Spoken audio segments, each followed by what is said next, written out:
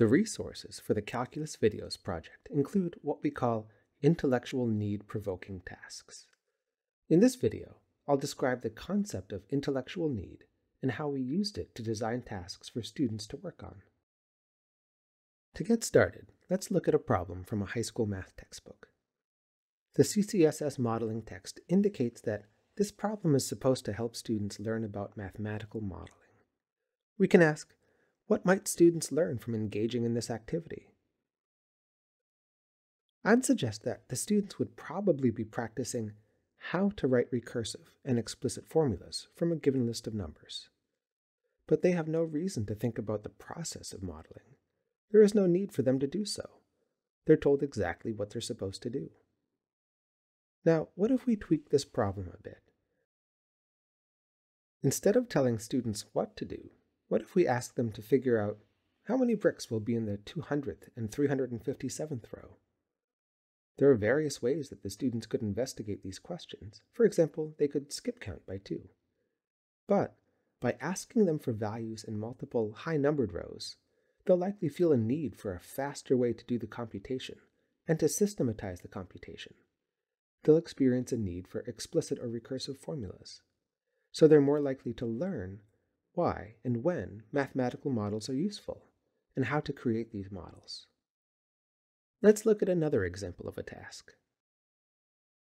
Here is a task that was intended to help students learn about the concept of prime factorization. What might students learn from engaging in this activity?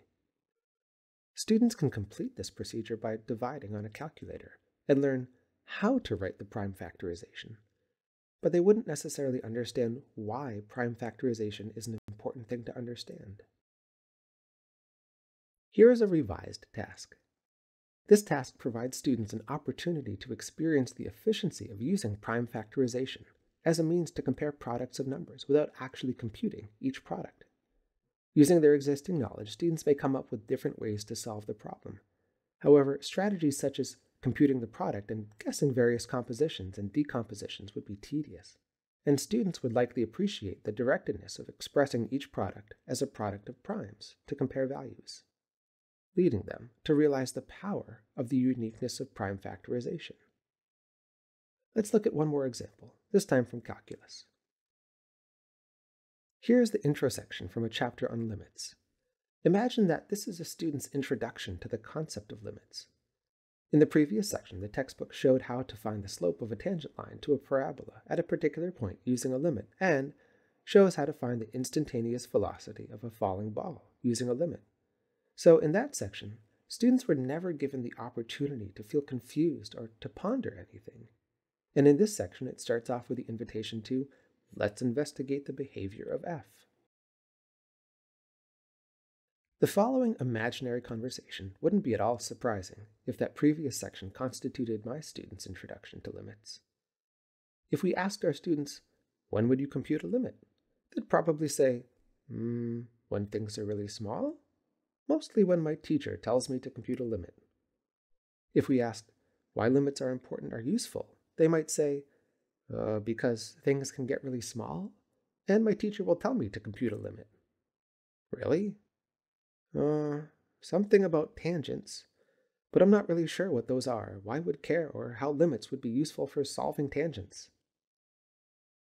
From that introductory section, students would mostly take away some notion of how they might approximate the value of a limit when asked to do so, but they never felt the need for a limit. So the question for teachers is, how can we help students develop an understanding of why limits are important and useful, and when they might want to use them?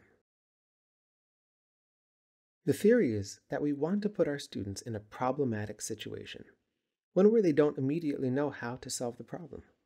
Like in the patio building activity, instead of telling them to write a formula, we ask them to compute an answer that is difficult to compute, and then let them use any method they'd like. This provokes a sense of disequilibrium in the student's mind, and the student wants to resolve this disequilibrium. That is, they feel a need to compute efficiently, to find structure, to explain why, to be certain, or to communicate. These needs are part of what is called intellectual need. Intellectual need is an internal drive experienced by a learner to solve a problem. As Dan Meyer described it, If a mathematical concept is the aspirin, then how do I create the headache? The Calculus Videos project has created a task and supporting materials for each topic that is designed to provoke a feeling of intellectual need for the students. Here is an example from the topic of constant rate of change. The students are shown a pitcher pouring water into a cup.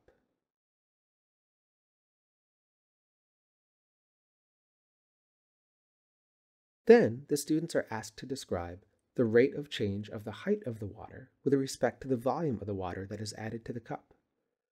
Their options are that the rate is constant, increasing, decreasing, both increasing and decreasing, or something else.